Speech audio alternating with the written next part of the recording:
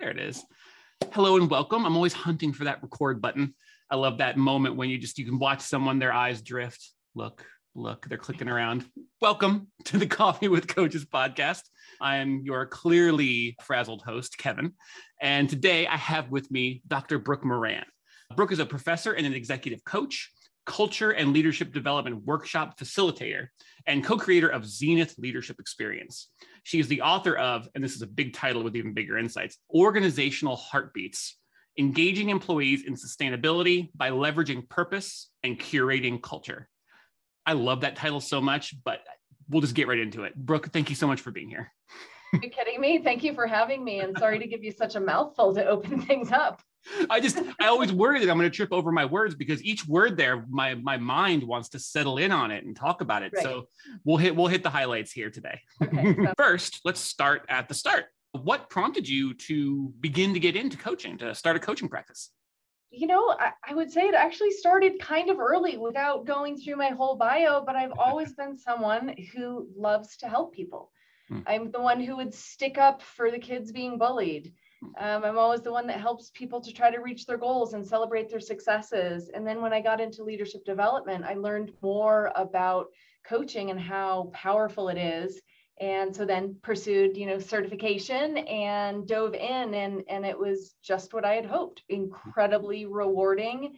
And I feel really fortunate to be able to be on people's journeys that's really what it's about. You don't necessarily like a lot of people think of a coach and they probably have a like a sports analogy in their brain where they see like a whistle and somebody like in a in a in a windbreaker on a sideline or something like that. I, I imagine like, but more so different now, especially in the last couple of years as coaching has just elevated in the popular consciousness and people have begun to see the value like you have in having someone who's not just telling you what to do from some distant place, but they're by your side, you know, guiding you over the, you know, the bridges and making the connections that you need.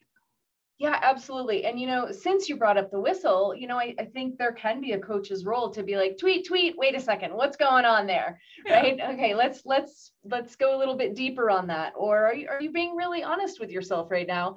And also, well, I've never seriously held pom-poms, like, yeah, I want to also be a cheerleader for people when they have those breakthrough moments, when they have those ahas or you know when they when they step into their potentials in ways that they never realized i absolutely want to be there as a cheerleader for them. I kind of love that. In my head i have you don't need pom poms to be a cheerleader and you don't need a whistle to be a coach. But even though you could do you could serve both purposes you know you could visibly right, right. cheer somebody on and also give them the tweet tweet that they need sometimes to call them up short and make them aware of you know what might be happening. I just i love i love everything about the coaching experience. It's just been great. And in this podcast i get to meet so many of people like you who just enrich and inspire. And like you were like you were getting at already it's such a rewarding endeavor coaching. Yeah absolutely. I was just going to say i bet you learned so much on this podcast. Um, but will you i just spoke over you so will you please it's i get so excited sometimes and as you could well you could see um, but as the audience might be able to hear i'm moving my hands vigorously as i talk because i get excited and i'm very much a hand talker. Um, i'm i'm talking over you but i'm supposed to be interviewing you. So let me let me get it back onto talking about you and what you're doing in your coaching practice because i'm sure we'll we'll be able to sink into other things here in a minute but i love i really love this question and i don't want to skip over it because there's a there's a key word here that i find a lot of coaches like to take and pivot either into or away from. That word is unique. Obviously, there are a lot of coaches who are doing so many things that are that you could characterize as unique, but then again, that word unique, like one of a kind. I mean, coaches are all doing relatively similar things and making connections in similar ways. But I feel like everybody has their, I don't want to call it a spin, but they have a certain yeah. way of going about things that does make them unique in the coaching world. And I'm wondering what that's like for you, what that is for you. Yeah, I think, you know, probably a, a, couple of things. My business partner, Paul Tame, and I are actually life partners, also professors in the same program, co parent. So you can imagine that we do pretty well if we haven't killed each other yet. we both have a background in outdoor leadership, outdoor education, adventure education. And so that really is creating a vig- vigorous learning environment for folks to hone their leadership skills, to discover more about themselves to hone their interpersonal skills. And so we try to bring nature into our programming, whether that's, you know, doing coaching on a walk or bringing in, you know, having folks just have a quick mindfulness check in, but looking at a plant. so that's we try to bring in those principles also stepping out of comfort zones that's a, a huge thing in outdoor education we very much bring that in and, and front load that into coaching that we want to work with folks who are ready to step out of their comfort zone and really dig into that hard work the other thing is we tend to pair our coaching with a leadership course you mentioned zenith leadership experience yes. so we have a, a multi-month virtual option and we also have an immersion course, but we do a leadership 360. We use the leadership circle profile and then we do coaching for, you know, results from that, but also throughout the program where we're talking about how do you mentor? How do you create a really inclusive about Jedi?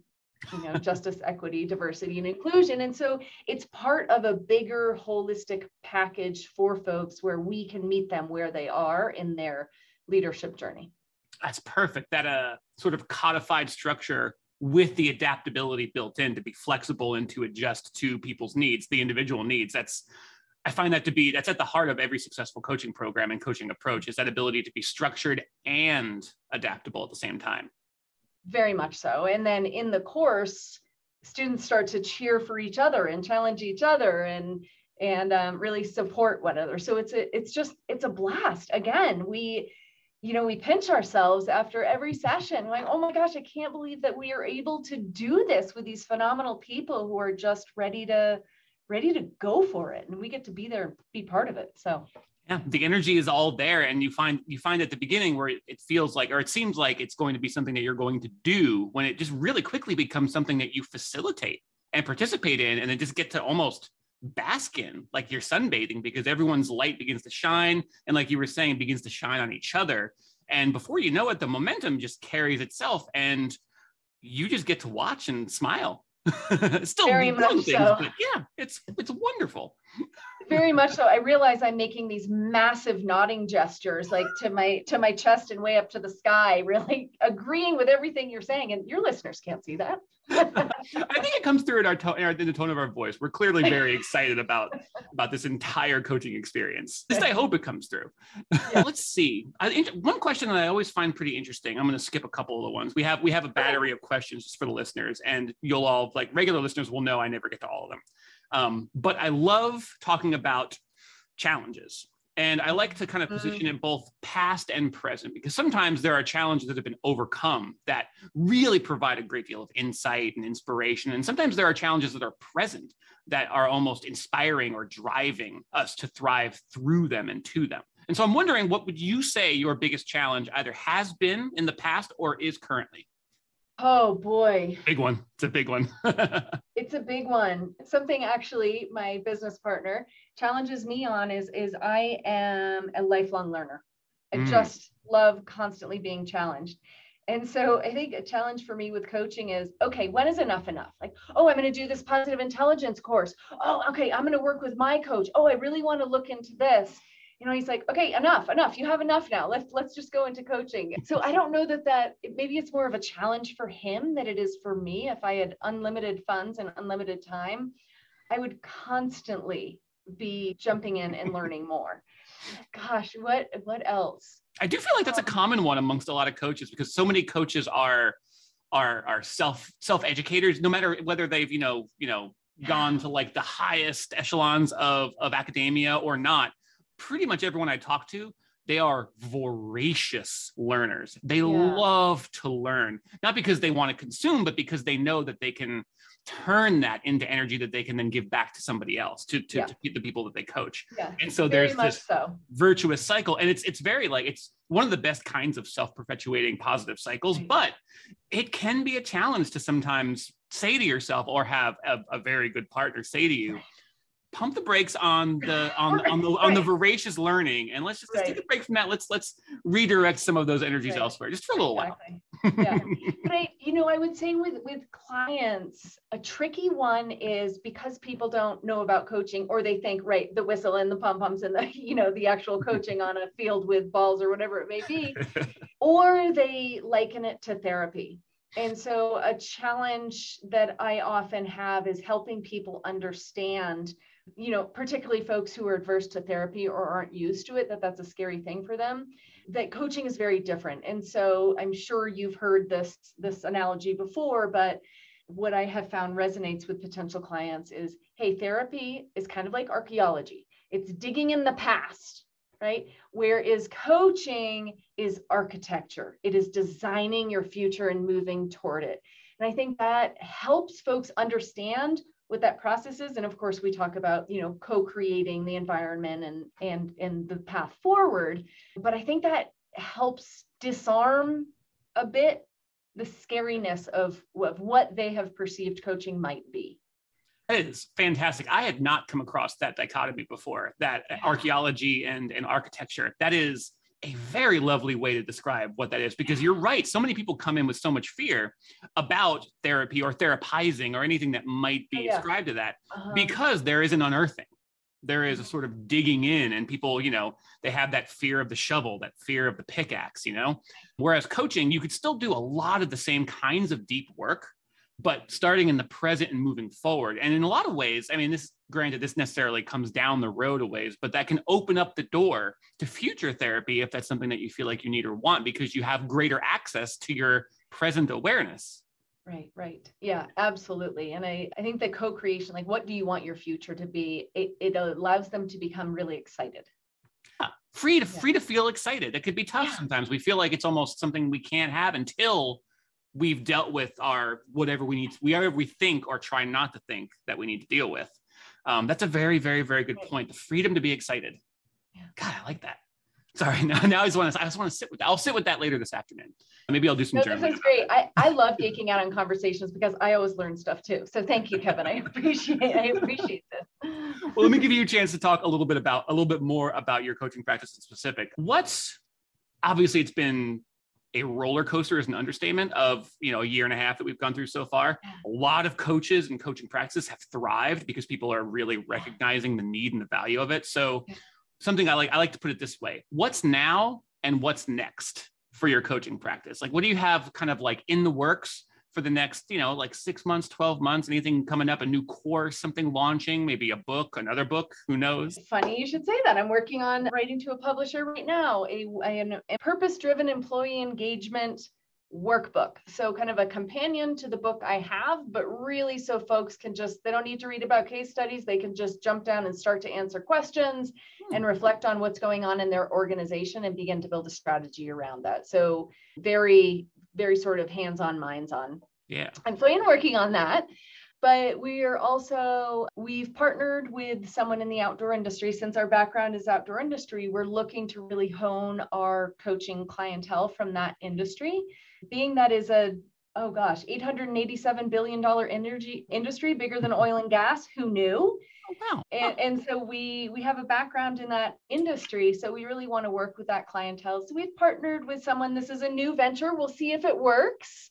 But a phenomenal woman who worked in the Outdoor Industry Association. So she has great networks and she's going to help us do recruiting and introductions in the part of the industry that we weren't involved in years ago and aren't now. So we'll see how that works. You know, we're trying to bring on contractors to yeah. build as you said, I'm a professor.